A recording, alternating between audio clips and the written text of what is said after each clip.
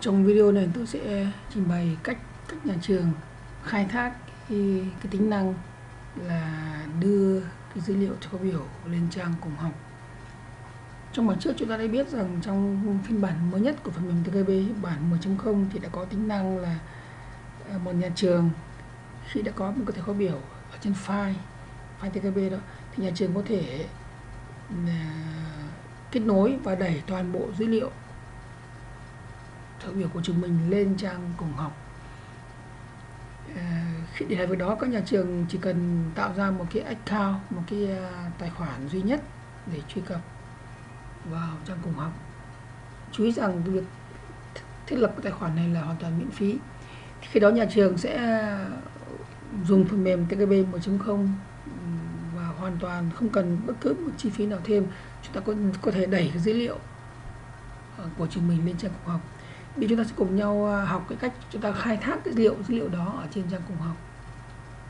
Như sau, bây chúng ta sẽ vào trang cùng học và bây giờ chúng ta có thể không cần thiết phải đăng nhập vào trang cùng học.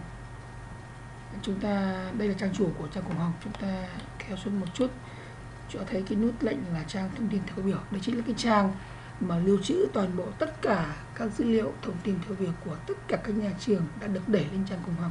Chúng ta vào thử ở đây nhé thì đầu tiên chúng ta phải lựa chọn cái trường mà chúng ta đã đã đã, đã đưa lên để xem cái thầy thầy biểu của trường mình. Thì cái này là tính năng cho phép tất cả mọi người à, mọi cái à, mọi người người sử dụng ở trên toàn bộ đất nước Việt Nam này có thể truy cập vào cái trang này và tìm kiếm dữ liệu của trường mình.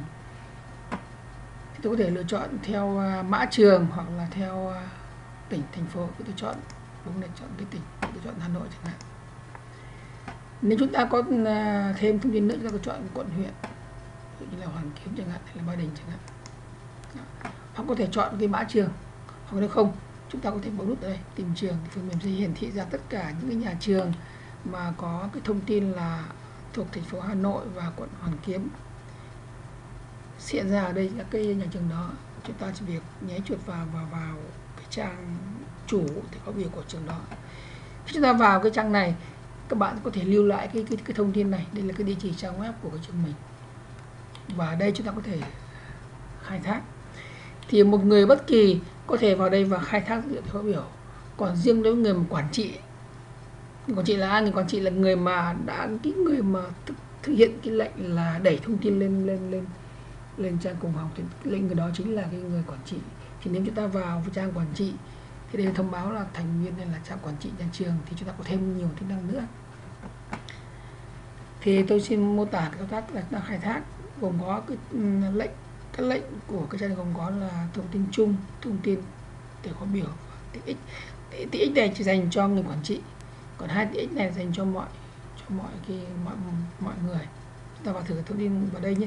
Chúng ta xem được những thông tin là thầy khóa biểu à, của nhà trường theo theo lớp à, các bảo phương dạy của của nhà trường của các lớp học thông tin của lớp thuyền giáo viên gồm có là các bảo phương dạy của giáo viên sáng đến chiều và thầy phát biểu của giáo viên sáng chiều và cả ngày thông tin từ phòng học. Chúng tôi vào xem cái thông tin là thầy phát biểu của giáo viên toàn trường theo vào buổi sáng chẳng hạn ở đây. Thì ta sẽ xem được một cái trang như này và mỗi giáo viên là trên một cái hàng như này. Ta xem được thầy biểu của từng giáo viên một chú ý rằng trên cái trang này ở mọi cái đường link này lớp này chúng ta đều có thể bấm vào đây và xem thiếu biểu của từng lớp một. Bấm vào đây đến 12 12 A 11 ta sẽ vào được xem cái trang cái thầy có biểu của một lớp 12 A 11 chúng ta có thể xem thấy có biểu của từng lớp của từng giáo viên. Ta bấm vào đây và chúng ta sẽ xem được cái ờ, đây hiện thị ra tất cả các giáo viên nhà trường. Chúng ta bấm vào đây sẽ xem được cái thể có biểu của từng giáo viên một. Giáo viên ờ, Hùng đây là dạy cho buổi chiều buổi sáng là, là nghỉ đây chúng ta có thể bấm đây để link tiếp link tiếp vào những cái thực có biểu ở bên trong nữa. Đó. Còn đây là cái thông tin liên quan đến bảng phương giảng dạy của các lớp học của lớp và giáo viên. Bấm xem này. Đây là cái cái bảng phương giảng dạy của theo môn học không chuyên môn đấy của các lớp học ở đây. Mình tôi sẽ mô tả sang cái thao tác là các tiện ích TKB đây là các cái thao cái, cái thông tin này chỉ dành cho người quản trị thôi gồm có là có hai lệnh chính là gửi thông tin, thầy có biểu cho từng giáo viên và từng lớp học. Chúng ta vào thử nhé. Và cái gửi thông tin cho từng giáo viên này. Bấm vào đây. Phần mềm sẽ hiển thị ra những cái giáo viên mà đã có sẵn cái thông tin về về về email. Đấy.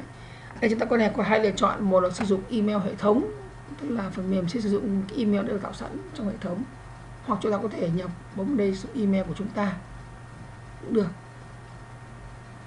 đây chúng ta có thể bấm đây và lựa chọn cái à, đây là cái email của cửa hàng giáo viên này.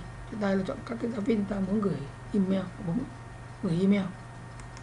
Phần mềm sẽ thực hiện cái việc là gửi thông tin à, thấu biểu đến cho từng từng giáo viên một. À, trường hợp chúng ta à, nếu mà thông tin về email nó chưa có chúng ta có thể chúng ta trực tiếp vào trang này mà chúng ta có thể chỉnh sửa nhập cái thông tin về Ờ, à, nhập cái thông tin về về thư điện tử cho từng giáo viên hoặc là từng lớp một. Chúng ta hãy cùng nhau thử thiện cái lệnh đó. Chúng ta vào cái lệnh là là sửa thông tin giáo viên. Chúng ta sẽ vào một cái trang à, hiển thị tất cả các giáo viên nhà trường mà chúng ta sẽ nhập vào đây các thông tin email của nhà trường. Email email của từng giáo viên một trong nhà trường.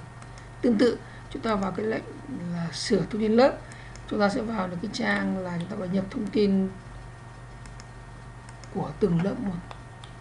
Để chú ý đây là đây là cái thông tin của cái người của cái thông thường nó là thông tin của cái ờ, của cái ờ, lớp trưởng của của lớp đó.